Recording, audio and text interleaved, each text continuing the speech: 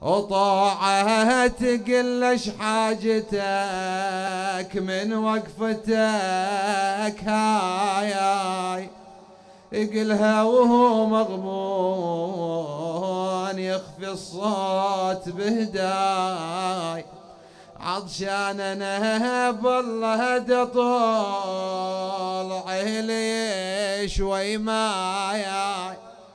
جابت الماء وشراب منه وقاف محتار. قالت شربت الماء لا توقف على البايا عيب على مثلك وقفته ببيوت الاجناب جنك جليل وشافتك يا شهم تنهايا. له لا أقدر أروح القمايا غرب والنجم دار. لما عرفته مسلم بن عقيل صاحت أهلا وسهلا سيدي على الرحب والسعة لكن كان عندها ابن لعين عندما نظر إليها تخرج وتدخل من مسلم بن عقيل عرف أن مسلم بن عقيل عندها فخرج في الصباح إلى عبيد الله بن زياد. نادى البشارة البشارة يا أمير. قال لك البشارة قال إن أمي أصبحت تجير الظالمين في بيتنا. قال ومن الظالمون؟ قال مسلم بن عقيل. فأرسل محمد بن الأشعث بألف ومئتين فارس فذهب إلى مسلم بن عقيل. لما سمع الطوع صهيل الخيول وقعقعة اللجوم وزعقات الرجال. وإذا بها تلتفت إلى مسلم بن عقيل تنادي دنهاض لفاك الجيش يا حيد. يالونك يا صنديد يجلبوك لابن زياد ويزيد.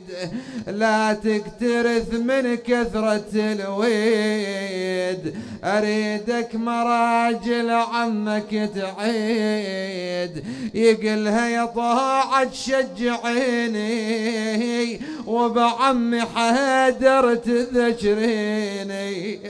أنا ما دام صمصامي بيميني بعزم الله لرجمع يجيني فذهب مسلم واستلأم بلامته.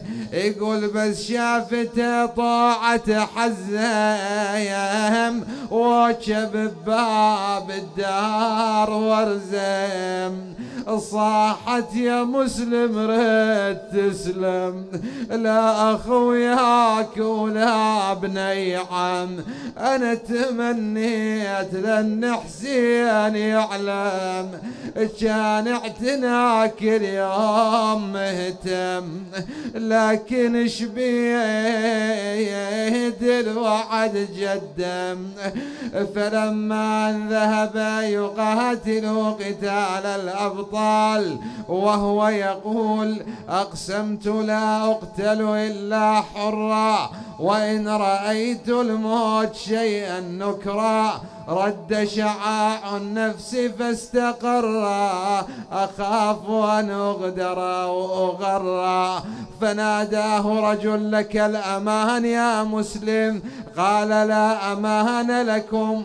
وكان من قوته أن يأخذ الفارس من وسطه فيرمي به إلى أعلى البيت فيقع ميتا. يشيل الفارس ويرميه على البيت ويقع للقاع مقطوع النفس ميت. يصيد الصيد ويخز المصاليت وبعزم اضحت الكوفة تروط كلها. مثل طحن الراحة بسيفه طحنها وسب الكوفة ونواحي ورجنها. قامت كل فرس تسحب رسنها وتدوس خيالها بحافر رجلها. وإذا باللعين ابن الأشعث كاد له مكيدا وحفر له حفيرا فبيناه ويطرد من وراء كتيبة وإذا به يسقط بتلك الحفيرة صح ونادي ومسلما وسيدا ومظلوما هذا يضربه بسيفه وذاك يطعن برمحه وذاك من أعلى البيت يرميه بالقصب والحجارة. لا للقضى والحيلة اللي دبروها. حفرة وبميدان حذيرة وستروها. وبها تقنطر والمحاسن جرحوها.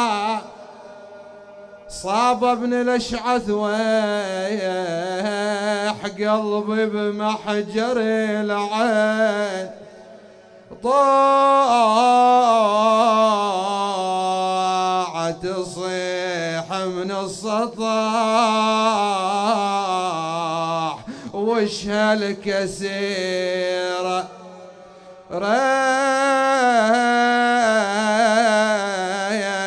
ريتك حضرت تشوف يا شيخ العشير بن عماياك الموثوق طايح طايح. بالحفيرة. قادوه مثل الطير مكسور الجناح صاحت يا مسلم وعظم خجلتي فيك. اش بيدي وأنا حرمة وضعيفة ولا أقدر أحميك. لو يتركونك كان فت قلبي وداويك. ايك كان سلمت من كيدهم سلم على حسين. كان سلمت من كيدهم سلم على قالها يا طاع اليوم ما تحصل سلامة. أوصيك كان بالبلد طب ويتامة. قولي ترى مسلم يبلغكم سلامة. واجريك على الله والنبي سيد الكون. فأخذ مسلم بن عقيل إلى قصر الإمارة. عظم الله أجورنا وأجوركم. جبر الله مصابنا ومصابكم. فلم يسلم على ابن زياد. قيل له سلمت أم لم تسلم؟ فأنت مقتول. يا ابن حمران خذه إلى أعلى السطح فاضرب عنقه. فبينا هو بذلك الحال أخذ إلى أعلى السطح. فنظر إلى ابن حمران ونادى أمهلني أصلي ركعتين. فصلى ركعتين توجه إلى الحسين ونادى السلام عليك يا أبا عبد الله إن أهل الكوفة خذلوك وغدروك فنادى ابن زياد فنادى ابن زياد عجل بالرجل.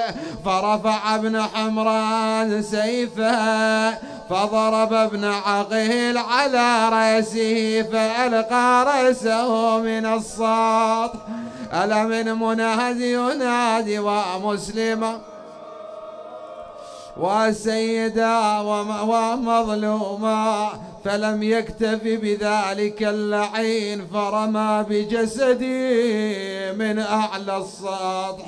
فأخذ يربط بالحبال ويجر بالأسواق. وليم قدر قضى وشاعت أخبار. رماه القوم من قصر الإمام وهاني جت عقبه ودار. مضي ولا بعد واحد يصلها. مصيبة مصيبة صدع الجبال. ومن قبل المشي بتشيب الأطفال.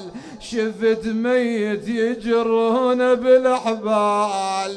يا صاحب لا تظن صارت مثلها. عقب هذا طلعت مذحج من الدور. وشقت لعدهاني ومسلم قبور. بس حسين ظل بيوم عاشور بأبيه من ظل على بوغاء كربلاء يا نازلين بكربلاء لعندكم خبر بقتلنا وما أعلامها ما حال جثة ميت في أرضكم بقيت ثلاثا لا يزار. مقامها نسألك اللهم وندعوك باسمك العظيم الأعظم.